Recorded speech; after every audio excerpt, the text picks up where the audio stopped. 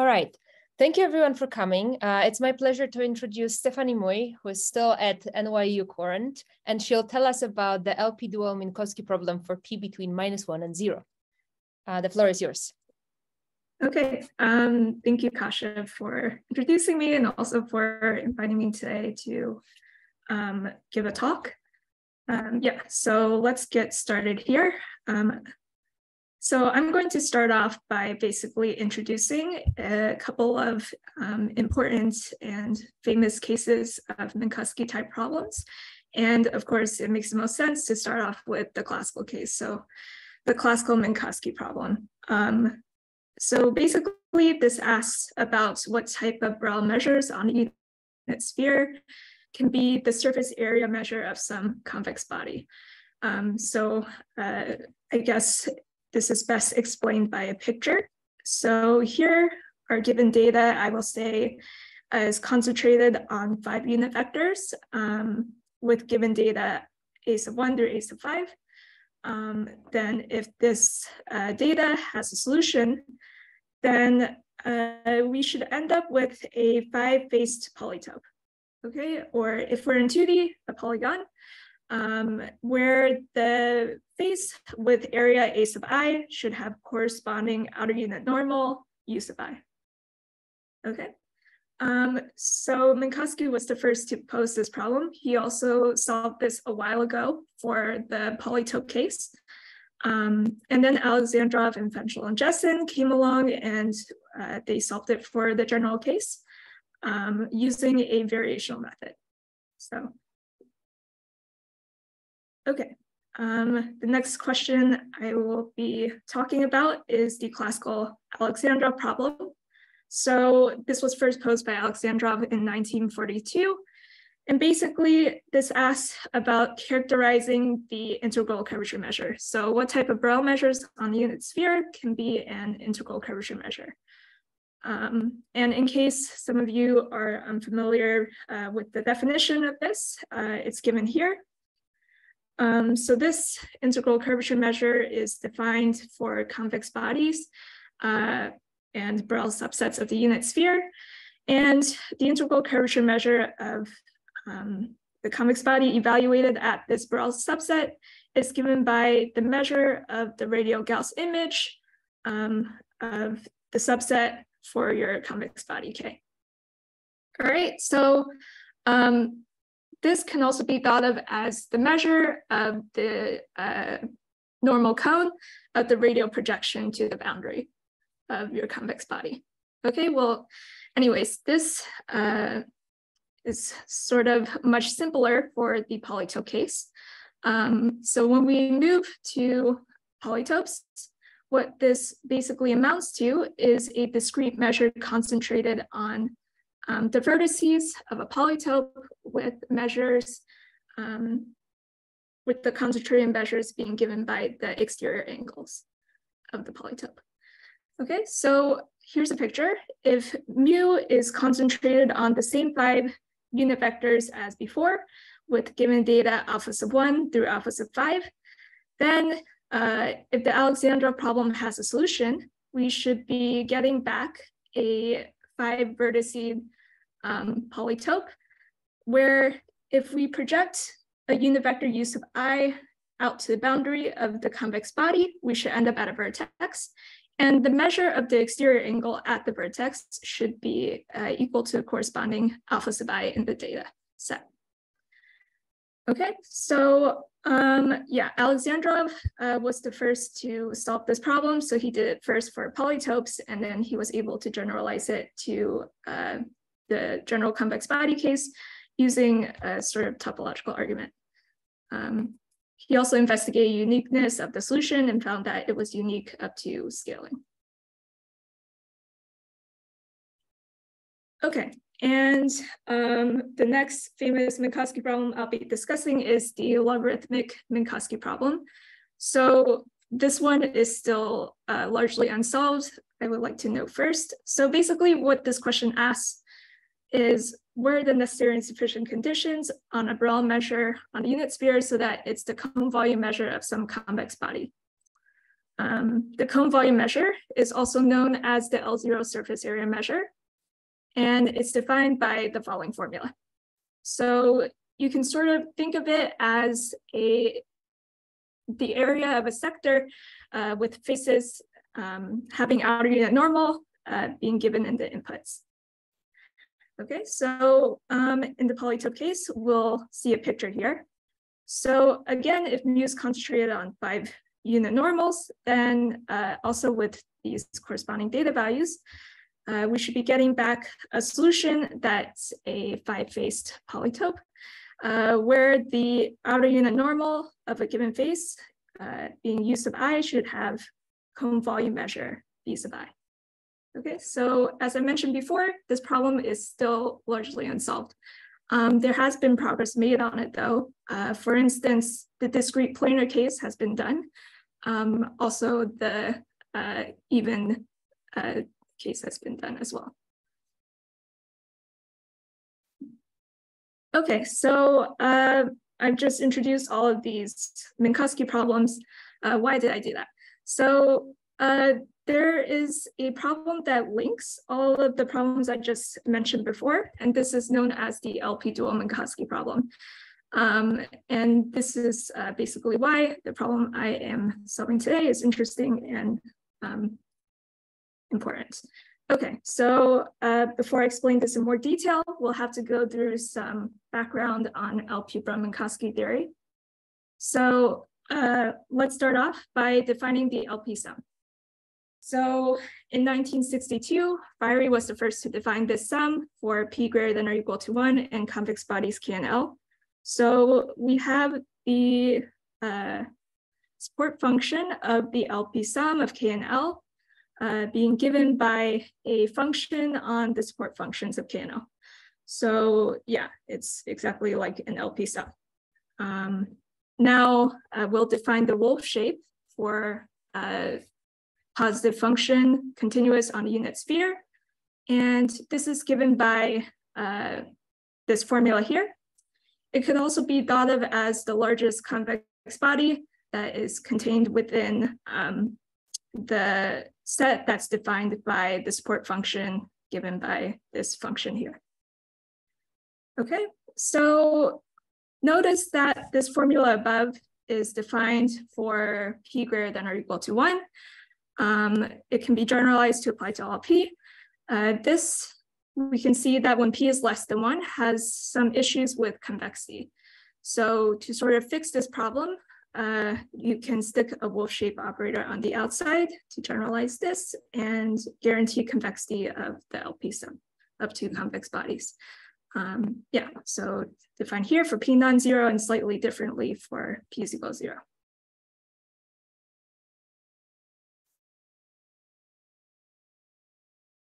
Okay, so um, LP Brunn-Minkowski theory uh, became an actively researched field when Erwin Lutwak in 1993 discovered the concept of the LP surface area measure. So um, similar to how volume is defined, or sorry, surface area measure is defined as a variation on the volume, um, we can define the LP surface area measure as another variation on the volume, except replacing the regular Minkowski sum on the inside here by the LP sum. So this generalizes uh, the definition of the classical surface area measure. Okay, so yeah, we take a variation on this, and on the other side here, we end up with the LP surface area measure, um, and also the L0 surface area measure, which is known as the cone volume measure. Um, when p is equal to one, we get back to the classical case. So um,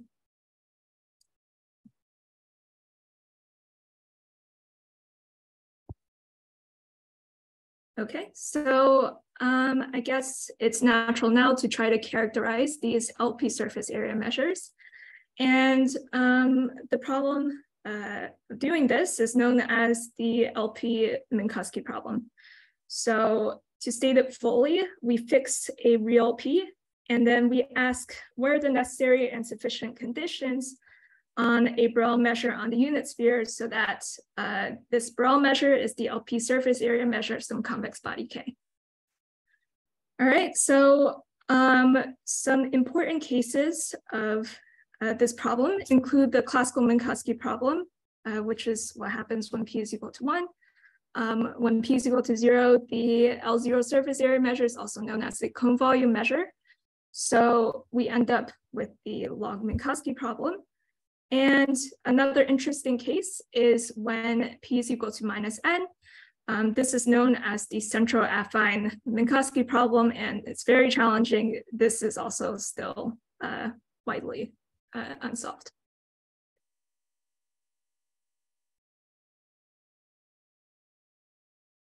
Okay, so um, let's talk about what we know about the LP Minkowski problem so far. So uh, when p is equal to one, the problem has been completely solved. So first by Lutwak and Oliker for the even case, and then by Chou and Wang, uh, they were able to do the general case. Uh, when p is equal to one, we end up back at the original Minkowski problem, which we've discussed earlier. So I will skip this. Um, and when p is less than one, things get more complicated and interesting. Um, this is still uh, widely unsolved with the log Minkowski problem and the central affine Minkowski problem being included in this region. Um, but it was investigated by these names here, and I'm sure more that I've forgotten to list. Um, okay.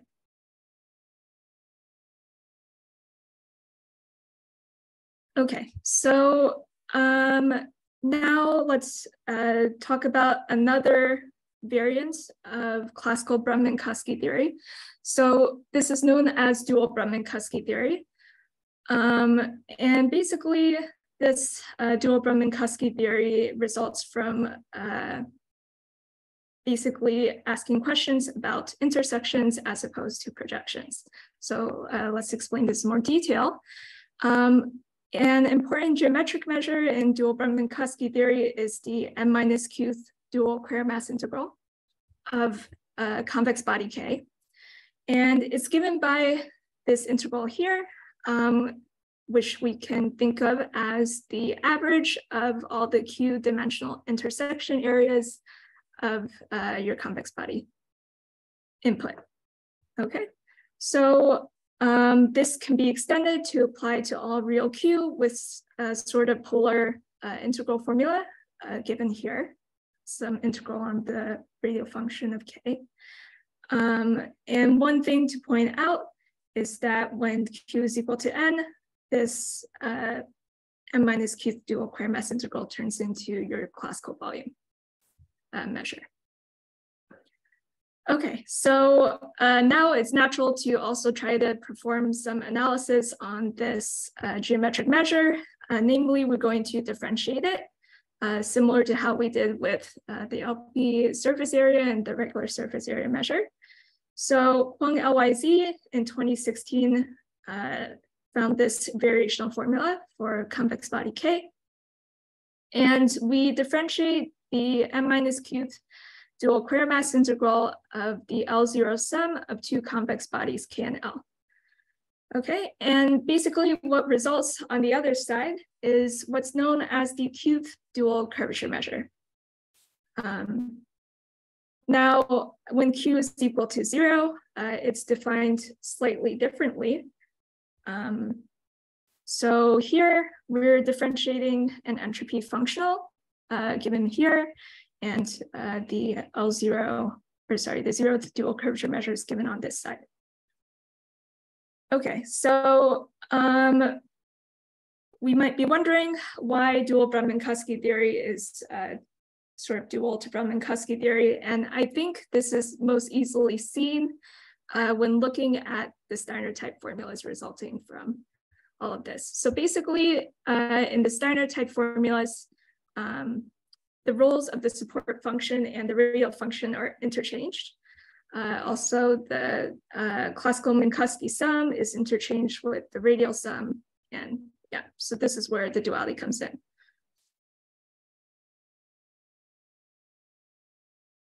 Okay, so um, again, uh, we'll want to pose the corresponding Minkowski problems for these new geometric measures we just learned about. And this problem is known as the dual Minkowski problem. And what it asks is that if we fix a real Q, what are the necessary and sufficient conditions on your given Borel measure so that it's the Qth dual curvature measure of some convex body. Um, so some important cases to note. Uh, first, when Q is equal to zero, we end up with a problem that we've discussed before. Um, the L0 dual curvature measure becomes the integral curvature measure. And so uh, we get back to the Alexandrov problem. Um, and when Q is equal to N, uh, the uh, nth dual curvature measure turns into the cone volume measure and we get to the log Minkowski problem. So basically this dual Minkowski problem uh, provides some sort of an interpolation and linking between uh, these two important Minkowski problems here.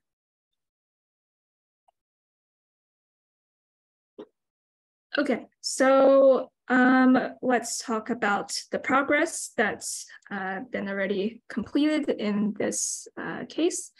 So when Q is less than zero, Yiming Zhao uh, provided a complete solution for both existence and uniqueness to this uh, Minkowski problem. Uh, again, when Q is zero, uh, we get to the Alexandrov problem, which I've discussed before. And when Q is greater than zero, uh, things are a lot more challenging. Um, again, the log Minkowski problems included in this case. So yeah, so far only progress has been made for uh, given data being even and symmetric, um, and uh, mainly um, some necessary and sufficient measure concentration conditions uh, have been found by uh, these names here. Okay.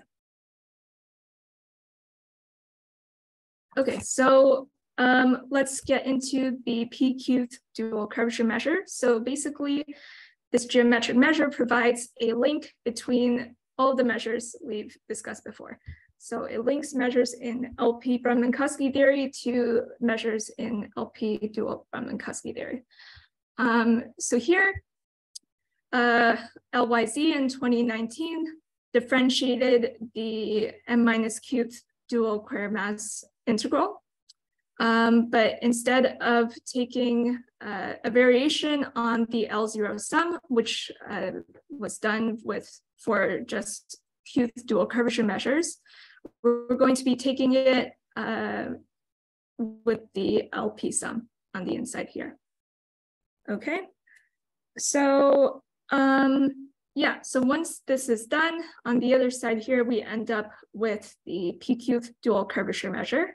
Um, and yeah, so one nice property about the PQ dual curvature measure is that it is absolutely continuous with respect to the Q dual curvature measure we've discussed before.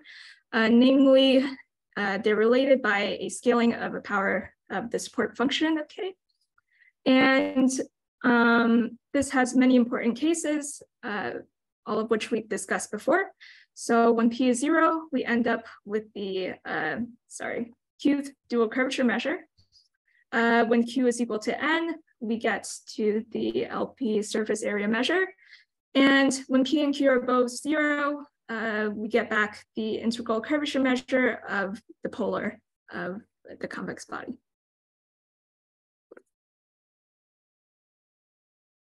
Okay, so again, there is a Minkowski problem associated with this geometric measure known as the LP dual Minkowski problem.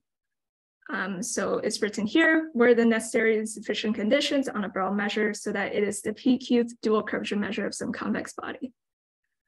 Okay, um, so as we can see from before, the measure unifies the other geometric measures from um, the other uh, Brunn-Minkowski theories. So we can see here that the corresponding Minkowski problems would be linked. Um, so we are linking the LP Minkowski problem, the Alexandrov problem, and the dual Minkowski problem all uh, within this problem here. And uh, in my opinion, that is what makes this problem very interesting to investigate. Uh, because it provides some sort of an interpolation between all three and can maybe give you a hint on um, you know, some of the unsolved cases. Okay, so what do we know about the LP dual Minkowski problem? Um, in 2018, Huang and Zhao solved uh, these three cases here. So in this quadrant, p greater than zero, q less than zero completely. Uh, this quadrant here, the first quadrant, p greater than zero, q greater than zero for p not equal to q for symmetric measures. And this uh, third quadrant, this is for even data that vanishes on all great subspheres, so a pretty strong condition. Um, then in 2019, Böröczky and Fodor uh, were able to completely solve the p greater than one, q greater than zero case, um, eliminating the uh, yeah, the origin symmetry assumption by Huang and Zhao uh, in most of this uh, first quadrant. And in 2021, Chen and Li uh, used PDE techniques to solve completely the p greater than zero case and the p between zero and q case. Okay, so um, this might be kind of hard to visualize. So I provided a picture here um, of exactly what's been done. So uh, Huang and Zhao completely solved uh, this quadrant here. Um, and then they also solved this quadrant here for even measures and p not equal to q, so missing this line.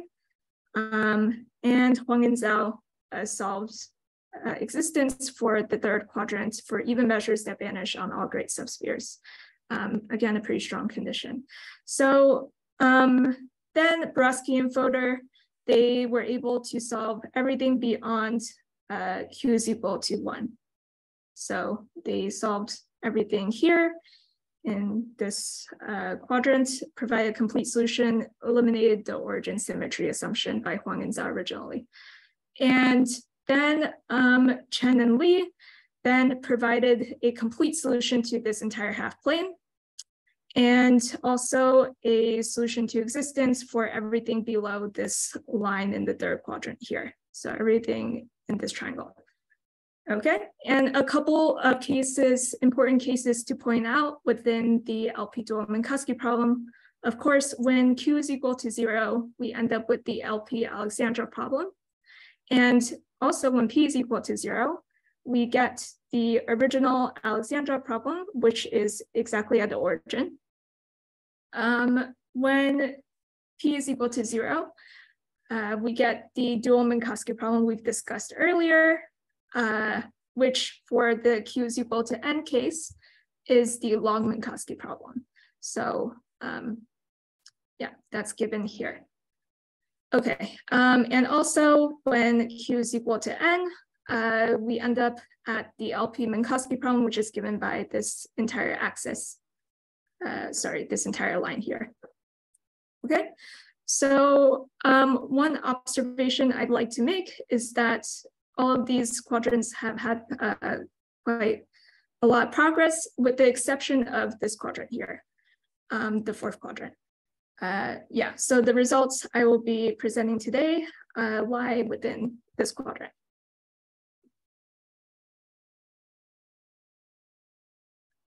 Okay, so um, yes, let's discuss uh, the main theorem. So uh, here uh, we prove existence for the LP dual Minkowski problem in the case of the given data being symmetric and uh, p being between minus one and zero, q being less than one plus p and p not equal to q. Okay, so if we impose these conditions on p and q and let our given measure be symmetric, then there exists an origin symmetric convex body such that um, this uh, measure mu is going to be the PQ dual curvature measure of some convex body K. And of course, we have to require that mu is not concentrated on any great subspheres uh, in order to get a closed shape at the end.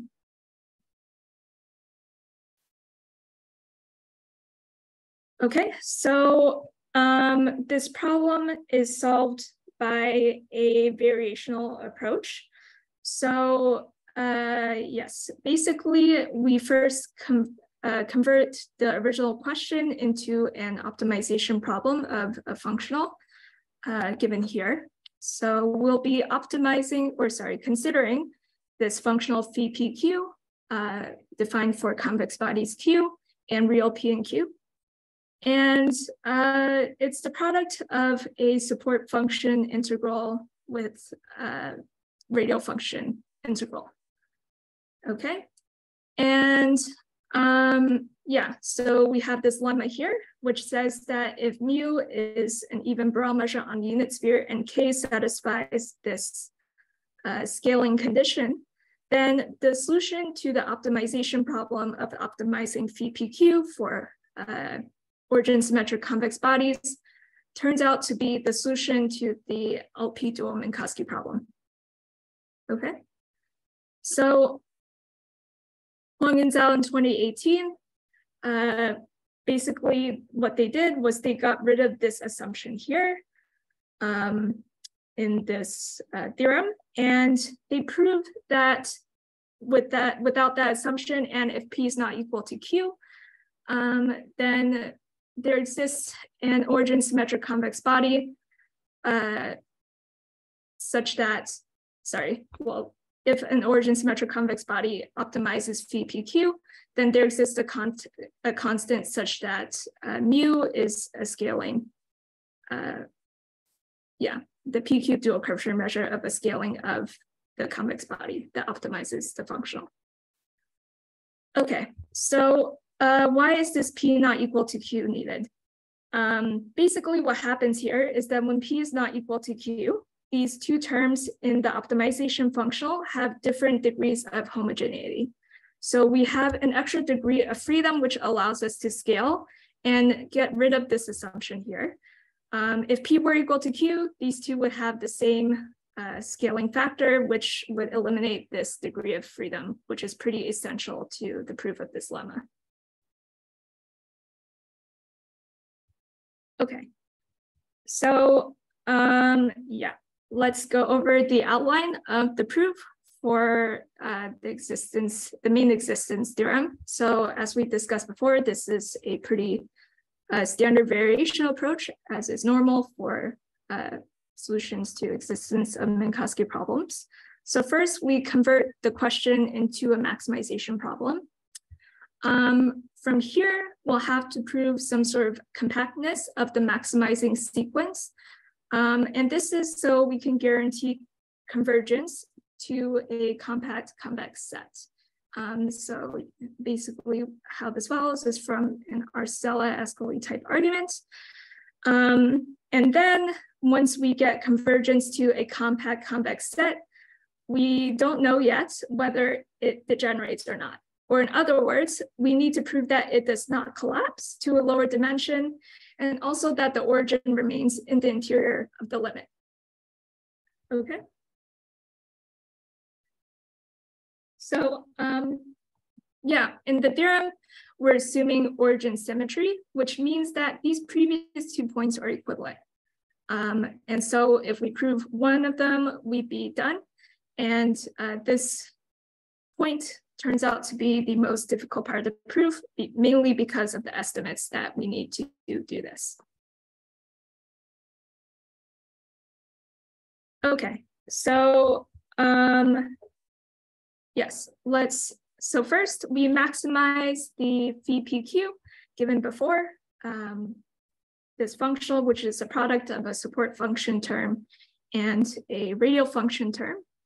Um, and notice that this functional uh, is scale invariant, which means that if we have a maximizing sequence and we rescale every term in this sequence, it will make no difference to the value of um, phi PQ evaluated at those convex bodies. Okay, so basically what this means is that we can rescale every term of the maximizing sequence so that they have bounded uh, radius. And uh, therefore by Blaschke-Santalo, uh, sorry, Blaschke selection theorem, um, we get existence of the limit, which is uh, the maximizer uh, convex set Q naught. Okay, so uh, now what re remains uh, to show is that Q naught is non-degenerate or in other words, the origin remains in the interior of the limit, Q naught. And to do this, we'll be using a contradiction approach. So uh, we're assuming that Q naught does collapse into something lower dimensional, we'll say K dimensional. And um, here we'll be considering a thickening, uh, which I call KT. So it's sort of a cylindrical thickening. Um, we're going to be summing Q naught with a small scaling of the n minus k dimensional unit ball. Um, yeah, in the complementary subspace of the one that Q naught spans. Okay. So yes, from here, we're going to obtain a contradiction by basically contradicting the supposed optimality of uh, our optimizer Q naught. Okay, so uh, for small t, and we're going to be breaking this step further down into two substeps. So uh, yeah, first, we're going to show that this ratio as t approaches zero approaches one. And uh, also, we're going to show that the derivative um, at t is equal to zero is going to be greater than zero. So these two combined will be sufficient for contradicting optimality. Okay, so again, um, the main difficulty of this step was uh, delicate estimates. Um, so here I basically uh, converted the uh, yeah, the ratio into the product of two terms. So delta two and delta one. Uh, delta two is the ratio of the radial function terms um, between the cylindrical thickening and the uh, supposed optimizer. Uh, and same thing for delta one, except it's the ratio of the support function terms. Okay, now this delta two tilde and uh, similarly delta one tilde is just a functional that's guaranteed to be less than or equal to this original functional above here. Okay, so at every t, this is going to be less than this. And um, basically, uh, we choose this cleverly so that this limit of this delta 2 tilde approaches 1, similarly for delta 1 tilde. And then we look at the limit of the differential of these uh, ratios, okay?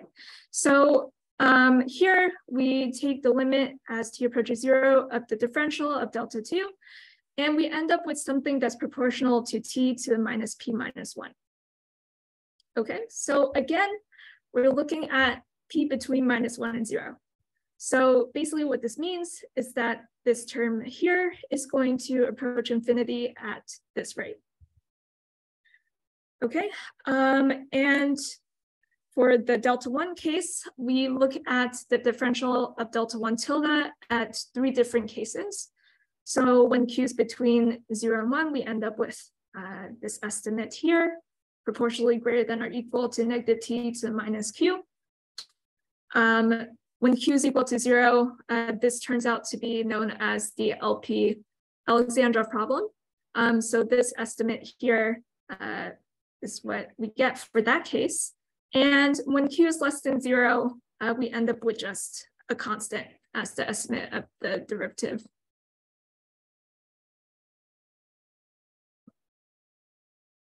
Okay, um, so yeah, combining all of these results together, um, particularly the estimates on the differentials at t is equal to zero, we end up with the overall derivative of the ratio being proportional to t to the minus p minus one, and uh, these three cases here.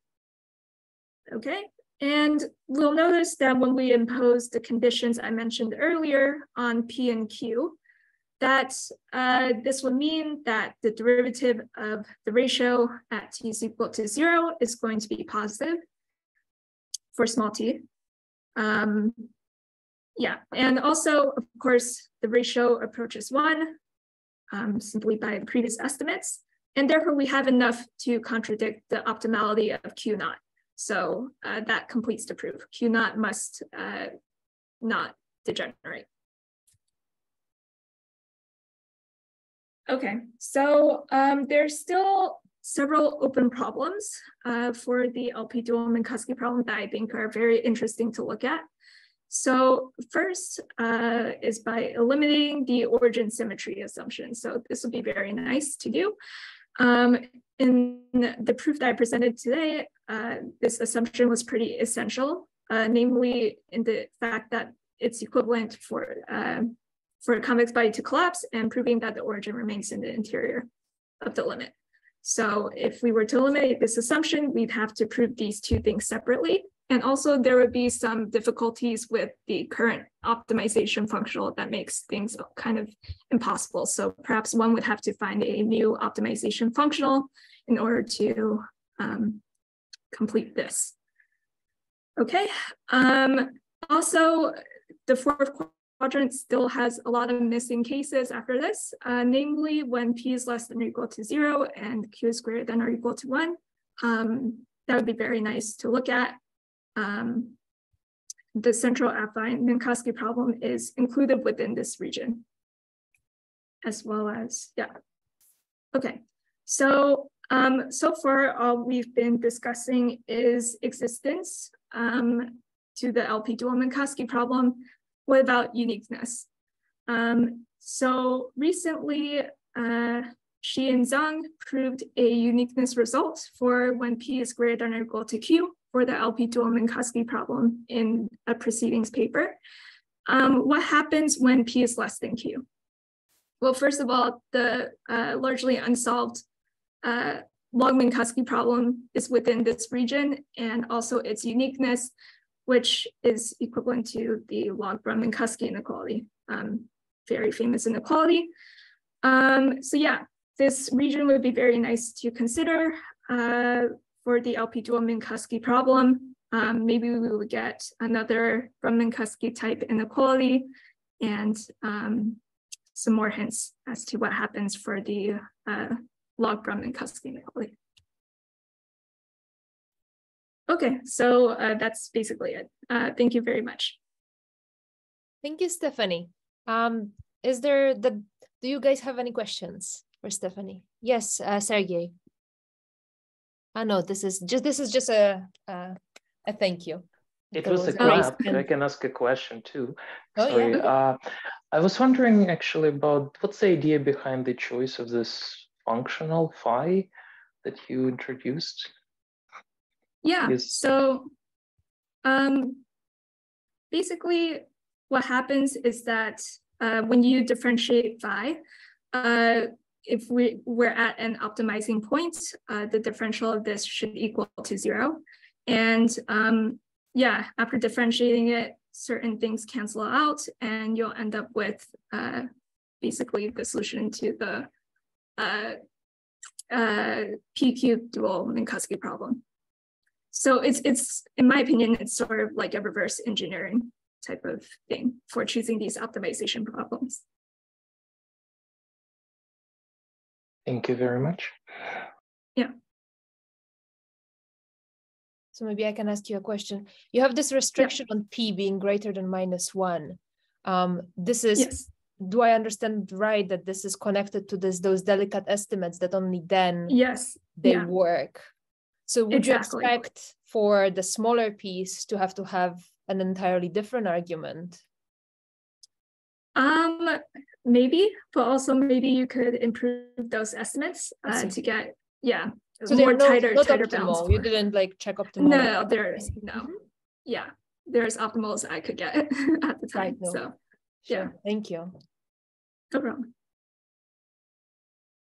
Anybody else? Okay, I don't think we have any more questions. Thank you, Stephanie, for for joining us today and, and telling us uh, a very interesting story of a very long pro of a very big family of problems. So thank you so much. Thank you. Um, Thanks again for inviting me. It was very nice. Our pleasure.